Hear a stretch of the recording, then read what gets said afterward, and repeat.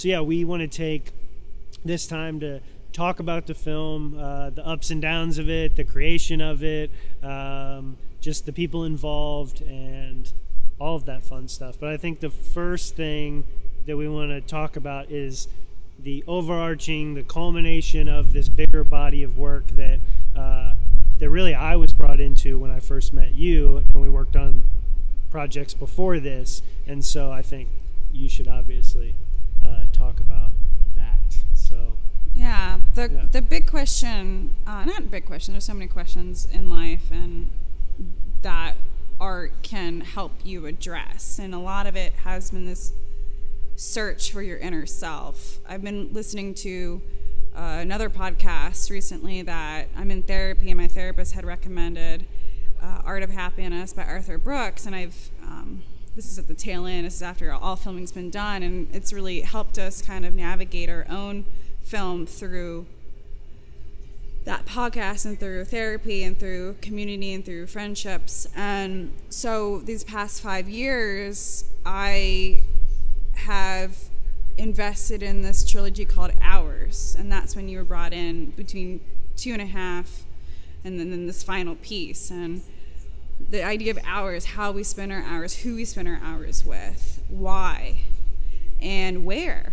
And that more than ever has been brought to light these last eight, nine months. I mean, you and I, nine months ago, are not the same people we are today. right. No one is. Right. No one is, no matter what their position is in life. And it's a beautiful thing, but that's also out of survival, out of adaptation, out of evolution.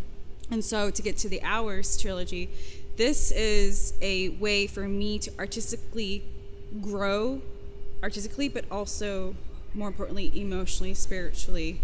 And I have been so privileged to have a community here, you being the, the cherry on top, to create a way to express ourselves in safe communities, in safe environments where we're not all artists. Actually, most of the people I work with I wouldn't consider themselves artists. And this film also speaks to that, which we'll get into later. So the first one was out of this Hours trilogy was what was that called? After Hours. After hours. Jeez, yeah. I feel so old because I am older now. Um, but after hours was predominantly me just stretching my wings for the first time. I have a pseudonym, Marie Emerson, and that was kind of a lame story, but I love it. And my all of my stories are a little lame now. But back in 2011, my cousin Kate, who's in the film, we were at the National National Gallery of Art, and she's a great writer, and she has a stage name, a writer's name, and I was I, know, I was 20 at the time, 21, and I was like, I I wanted one, and I came up with Marie Emerson. Marie being, being my middle name, Emerson being my favorite poet at the time. So my other name I go by is Silky Eliot. Silky being my grandmother's nickname, nickname and Eliot, T.S. Eliot being my favorite writer then, still, still both are. And it allowed me to kind of escape in this alter ego, Marie mm-hmm. Emerson. And it allowed me to have that safe space for my own self, within my own self, to create, do nude photography, talk about sex, do sex, talk about politics, religion, depression, anxiety, things that are day to day, hour to hour, minute to minute. Mm-hmm. And art has been a very therapeutic way to use literally your camera to work it out and not jeopardize other parts of your life. I mean, I have a whole career that I love that works with communities and international and domestic development work, and I don't want to negate that part of me to succumb to the other part of me and vice versa. And that's what helped separate it, having two different names.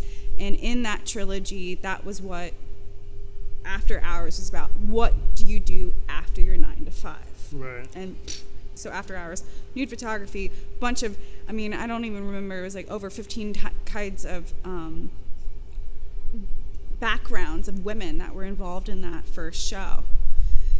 Second show, which you came about, we had our podcast right before it. It was the Enduring Hours. Yes, Enduring during that, which we shot we uh, shot short film we shot Choice C Yes, with. yeah, yeah, yeah. Um, Which, if you haven't watched it, there'll be links below. You can watch all this stuff. So Yeah, Definitely. and that was you and I. We had to do another podcast, and I experienced Puerto Rico after the hurricanes. The election 2016 had happened. There's a lot of things happening God, in our so own. long. Really, It feels, yeah, I know, and it was a long time ago. That's it, crazy. I mean, it was four years ago, Right. and yet it feels like 10, 15 years ago. And so you and I had worked together, and it found out that you and I had a really great chemistry, both on and off the screen, very fluid. I one of the things that I always say about this film is that, well, I wanted to make a film, and I got a best friend out of it. Right, right. Yeah, I agree. Yeah, I agree. And that's the energy behind all of this All of hOurs. But Enduring Hours was about that time, 2016, 2017. I think it finally came out in 2018, where it was three women and I, and we just we went political. We went a little bit more of the spreading of the wings from the first show, Mm-hmm. really deep dive into heartbreak, into figuring out what it is to be female in a very politically charged masculine dominating world where we're we were in our mid to late 20s at that time and not knowing left from right literally left from right republicans democrats and then there was more than that I mean, everything's political here but there's more to life Right. and um, there was a lot of in that time period as we all kind of there was schisms in the families there was schisms within our own identities and it fast forward to All of hOurs. And this is the time where, so the first show was about me, the second show was about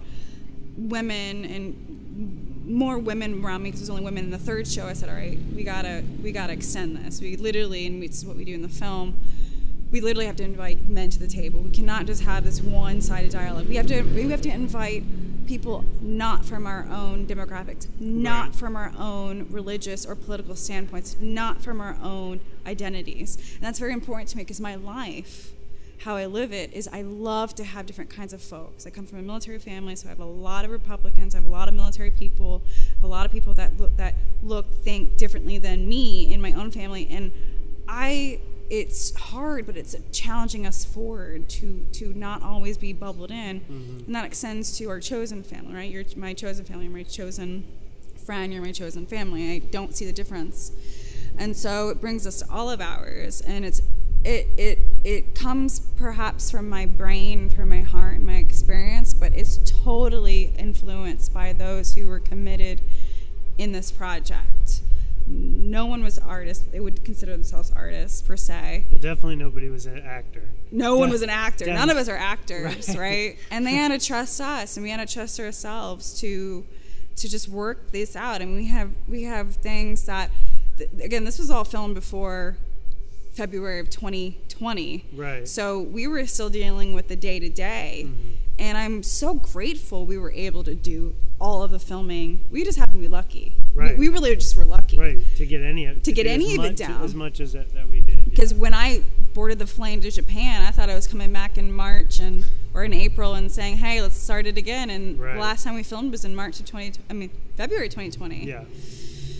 And it's it, I feel grateful for that we spent our time getting all the people, getting all the places. This was very calculated and writing the script to a certain extent and getting as much as we could done. We're very much you and I are very much let's just get it done. Right. And we time is now. And that's what All of hOurs is about. Hours, going back to the whole thesis of it, is now. It, yeah, and we.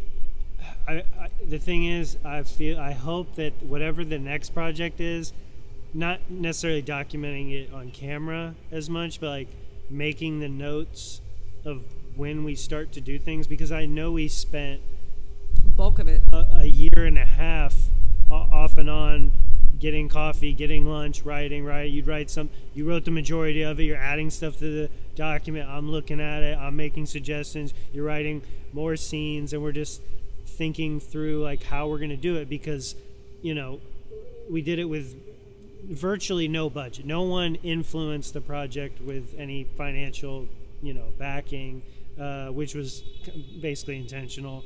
We didn't have uh, you know, any prof- any professional actors, whatever, whoever those people, you know, anybody that does it on the regular. We didn't have any of that, um, and I don't know if that, if any of that was on purpose, but it definitely fit into our like workflow and my background maybe not my background but definitely my thought process and like we, we use the same words a lot being fluid organic free flowing adaptive uh, roll with the punches you know yeah. um, and going into any of these scenes and really any project that i work on that's not you know a corporate thing or structured thing where you know i have to do it a certain way. I love being open to the idea of anybody coming into the conversation and also suggesting things and uh, the Yeah. vulnerability was a big piece of it too. I mean all these people were they they really did give it up. There wasn't one scene or one person that like was sort of on the fence. Like everybody definitely gave it their all uh, you know more specifically in some scenes you know with with the paint you know charlie just went 100% like he gave everything. He was covered in paint and these other guys are touching him all over his body and it felt fine. It didn't feel weird when we shot it. It was a really intimate uh, just it was awesome because how many times in your life is something like that going to happen? It's not. It's just it's rare to get those same people in a room and everybody's like down to and I, be- some of them just had met the first a lot of people had never met each other There you go, and just be willing to be a part of it, and also with little direction. You know, not little direction. You you definitely were giving. You know, you gave direction, but another thing that a lot of my influences with with filmmaking are from filmmakers who, of course, you know, write screenplays and have structured elements to what they do, but they also are very organic and they they look at things a different way. It's not your typical, you know, Hollywood. Everything has to look a certain way. You know, we we break the rules, and we're gonna do things the way that we wanted to do it, and not necessarily uh, your typical film is going to be made. And I hope that, you know, that's what continues. Is you know the next project, and um, that we're able to to do that to really carry out the same mentality that things don't change regardless of you know who's involved that you and I are able to bring the bring people together and they get behind our vision whatever it is and and they get excited about it like we were because um, yeah it just we never knew what was going to happen. You know we you know we had an idea it was on paper and we talked about it but once you get there and you're shooting it and you're doing it you know we did we did some scouting and little things like that but as far as the the physical part of it that was all really done in the moment and that's what made it kind of what it was i think. There wasn't all this pre-planning of telling everybody how it's going to be and what they should wear and uh, what's going to be happening and just we sort of gave them a few crumbs and then Let we them hit them we hit them when we got there and then we just we let the camera roll yeah and so- and and that for whoever does or does not believe in energy or not i mean it's these are family and our friends these are people that we genuinely love and care about and that we actually have communications with and hang out with Mm-hmm. Right. and I just feel like I'm not serving you well because I'm sad or I don't, you know, I'm confused or I, a lot of things going on and I, I just want to make sure you're happy. It's you being sad that makes me sad. Cause the I'm whole child sad. scene. I mean, that meditation happened in my real life where my little self, I woke up crying. This was about five, six years ago. And I woke up crying here. Um, spoiler alert, we're outside my apartment building. But I woke up here. I just woke up crying. And I closed my eyes and my little self appeared to me. And, and that like shifted a lot for me spiritually, but also just in trying to get my life more to where I want it to be. I, you see who you want to be, and you know it, and you're working yourself there. So it's that, it's this, it's this push, push and pull sometimes. And luckily, because you have those people around you, your community. Right. They can help graciously put you there mm-hmm. along with your own efforts. And I find that what because we're fluid, because we're adaptive, that non-attachment component that's in our belief systems. This is the only time I've been able to successfully do it. I mean, we're we're we're not going to get into what it was going to be and what we had envisioned it to be because we're just not like that anymore. But because we have that non-attachment to the work, the work was the behind the scenes, developing it, the, the, the talks, the, the meeting with people, the breaking down, okay, this is what this scene is about. Run with it. Think about your own lives. Exactly. And then go for it. And that's why I think you and I, what was it, three months ago, four months ago, we sat down and said, I think the film has told us it's it's done. yeah, I, I think that was the reality, and it was okay that we could make something out of what we had because, well, you just said it, that whole non-attachment piece, but also uh, to also, yeah, give honor to like all the people involved and really, Who really put their necks out there for right. us. To me, that that was the biggest piece. Is Totally. When I'm when I'm going through and, and, and putting everything together, yeah, I'm, I'm seeing you know some these gorgeous shots that I love and just happened on their own, and uh, but more more than that, the people that I'm seeing, I'm I just get excited that they're even in this. Like I'm behind the camera. And these people, even some of them, I had never met maybe till that day that we shot, and they were so willing to just Well, 'cause you're a do- nice guy. Yeah, to do what we wanted them to do. And You're friendly. Yeah, well, yeah, I guess. Yeah, no, um, but yeah, I've I, I I've worked on all kinds of projects over many years, and this definitely is by far the most unique experience. Only because of one having you know a lot of different people involved that I don't Really? even remember how many how many people have we actually had. I don't think know. it was over fifty. It was a bunch of people. There's so many Behind the people, scenes, People behind the scenes from you know uh, locations that we're able to go into and shoot, and uh, people that just helped out. But all also, in the DMV area, which is great. yeah, but also um, you know the therapy scene where you played uh, my I played the therapist. therapist. you know, for me though, you know, obviously, if you're watching this, it's on my YouTube channel, so you know me somewhat because I try to be as transparent as possible as a person because, like, that's how we should be, right? We should ex- tell people like what's going on, and so that scene though. You know, I, I, I was being honest. It was a real conversation. It was not scripted. I talked about my real life and how, you know, things that were really going on or still going on. And so uh, I, I kind of pushed you for that. Yeah, I but said, that- you need to get in front of the camera too now.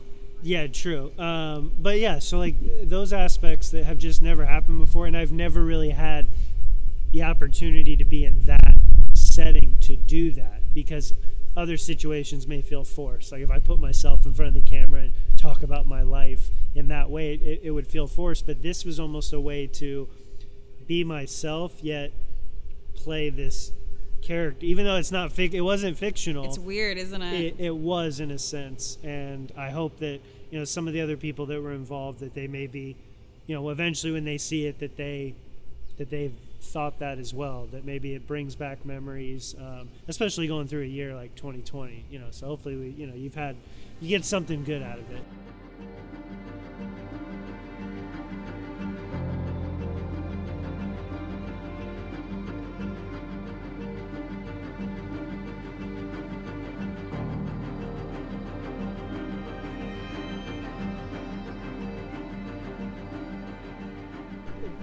production wise and the actual physical part of it with with gear and the way we did it that was that was another piece did we you know rent cameras and rent gear and put on this huge We're a low budget, no budget Well, kind we- of group. right but we we could have like we def like if we wanted to do that. Yes, that we could have done a lot of things. we could have taken There- that, that road too- we yeah. might have ran into covid and maybe we didn't even get to who knows like the timeline might have got pushed back and maybe we're not even sitting here doing this podcast but uh, you know at the time it was like hey this is a no-brainer i have you know i have my sony a7s II and i have all the gear we need and let's just go let's do it like this is this is the tools we have. Let's shoot it. Um, the therapy scene, Caleb Hargett, he shot that. He came on, you know, and he had he's a filmmaker, so he came and, and shot that. And he's also acting in the coffee scene as well. He's the one who drops his coffee uh, in uh, what's the coffee shop? Uh,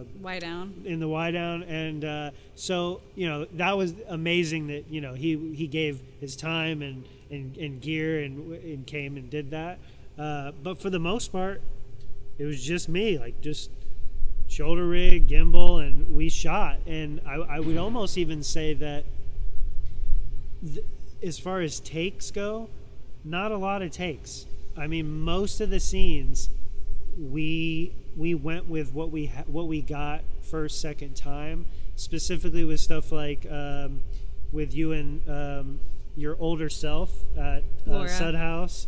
Um, you know we let it roll and you guys just had this conversation or uh, the paint scene and, and just all- pretty much every scene we sort of like let things just kind of happen.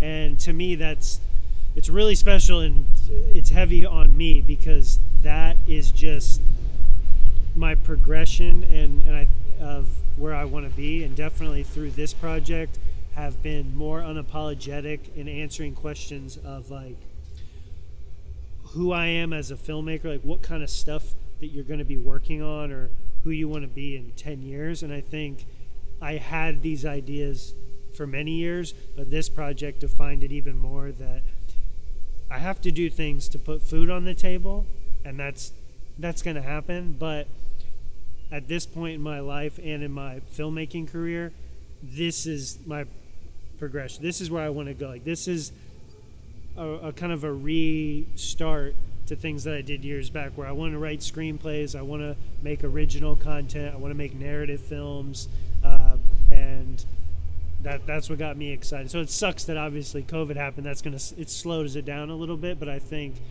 um, I just dream a lot about what's next for us because it's super rare to find that connection with you We- know we um, we have really a lot of blessed, good right there's a lot of good friends and there's a lot of people but it's out there that are definitely willing to jump on board and um, and get involved but when it comes to the really minute details and, and the thought process of what the outcome is going to be and what we want this film or piece of art because this film even though it's you know cut up into pieces it's to me it's more like walking into a national gallery and mm-hmm. looking at a Jackson Pollock or so. It's much more to me like that than watching a traditional film because it is very abstract and it has many meanings to different people um, and, and I'm okay with that. Like I think that's what's you know I think there's a lot of people that watch you know you, there's a lot of weird TV shows and weird movies and you know I think this fits into that category of some people would say well, that was that was bizarre. Like that there- yeah, a lot of people are not gonna they- get it, and and we, we intentionally did that because it's like a good good lyric, right right. Yeah. Uh, a good lyricist. yeah.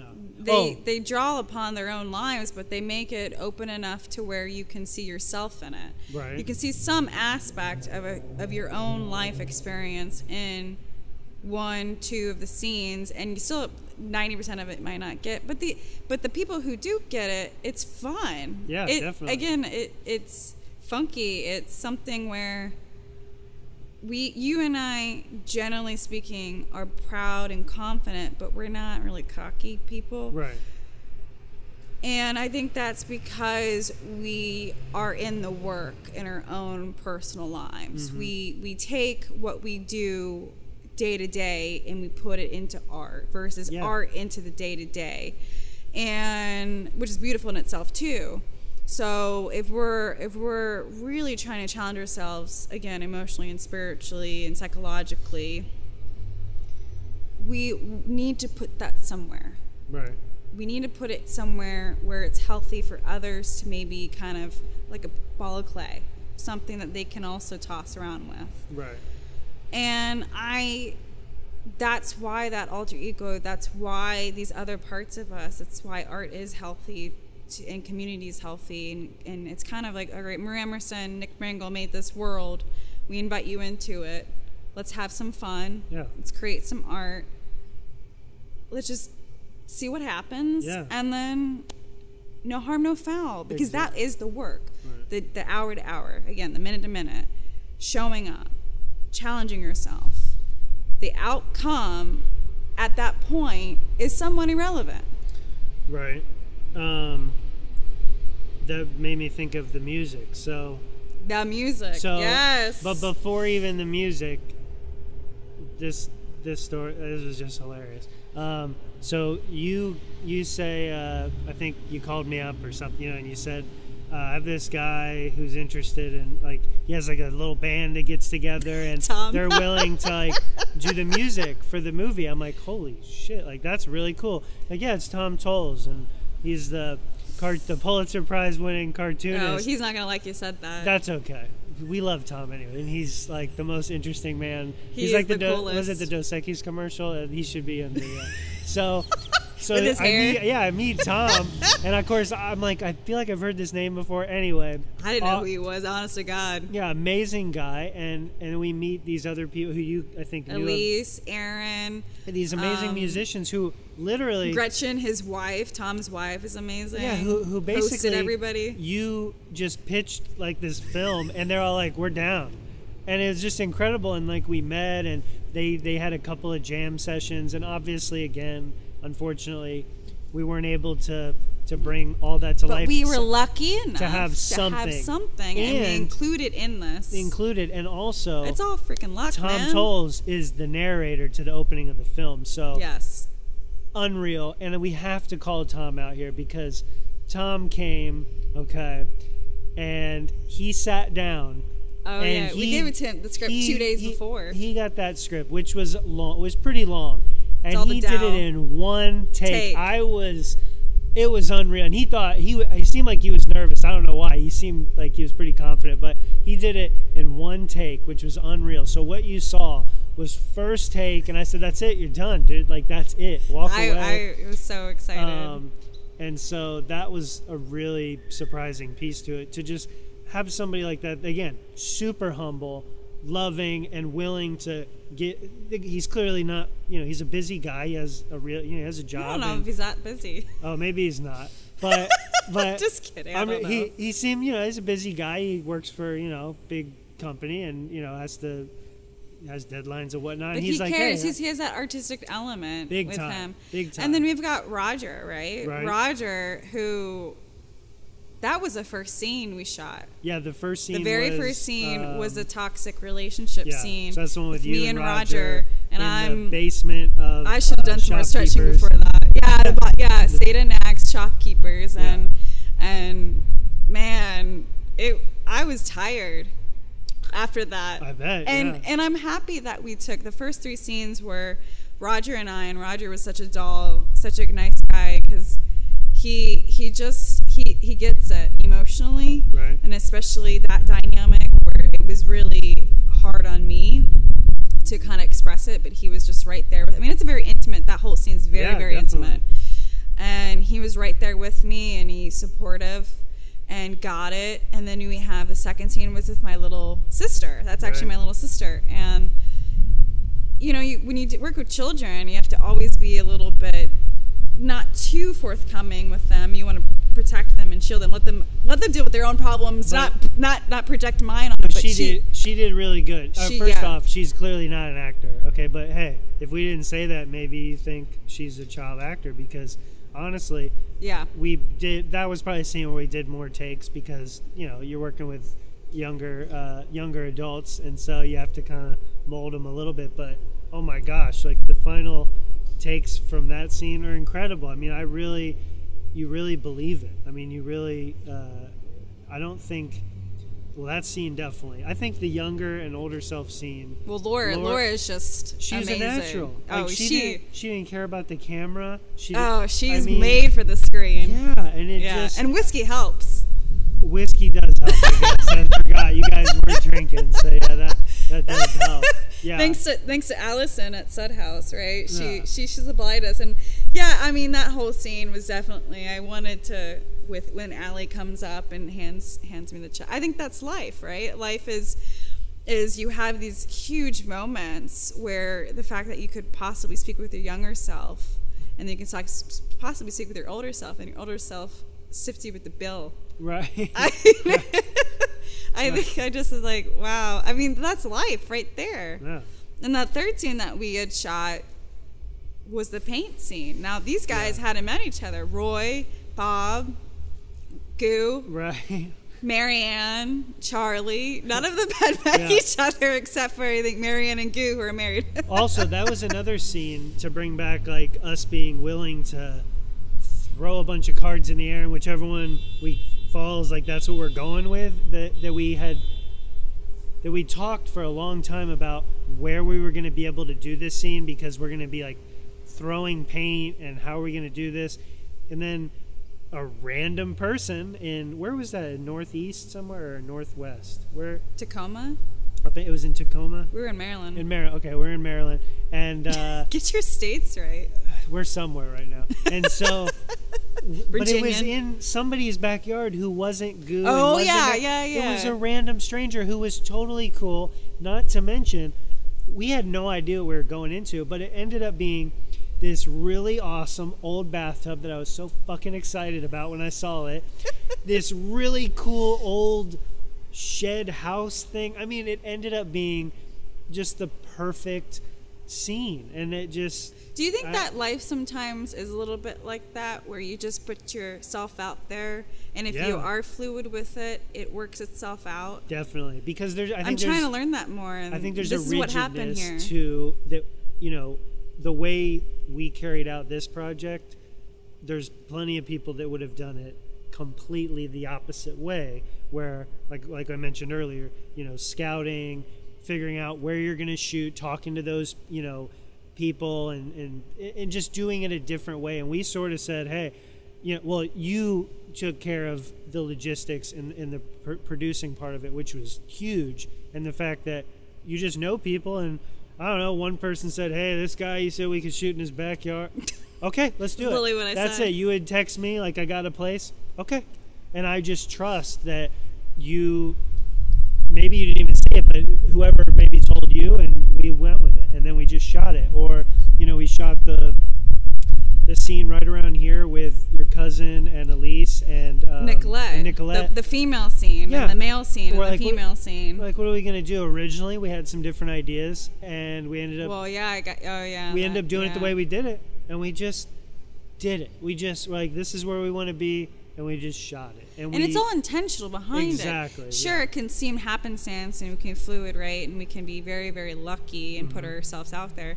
But it's all intentional when we are in that decision. Right. The fact that we started at the church, or rather ended at the church and the park. The park for me, which is why we film there so often, even before this this film, was because it's a the park, Malcolm X Park, is probably the my favorite place in all of DC, and I just happen to live near it. Not, I didn't even tend to live near it, and it just happened to all work out. And that park is a, is a safe haven for so many. And the church, a lot of times, are a safe haven. And then you, the fact that you have to go through life to get to A to B sometimes. And that feels more like this now than ever. These leave outside your home and you feel like you're an obstacle course. Right. And so that scene was about that. I mean, not to go into it so people can relay whatever they want, but it's this idea of getting from one safe haven and protecting yourself going out in the elements to another safe haven, protecting yourself. And that again is hours, hours, hours, hours. It's this building blocks, it's the community and the emotions through all of those hours, all of those steps Right. that encompass your day, your life. And to do that in an artistic way, it is that closure.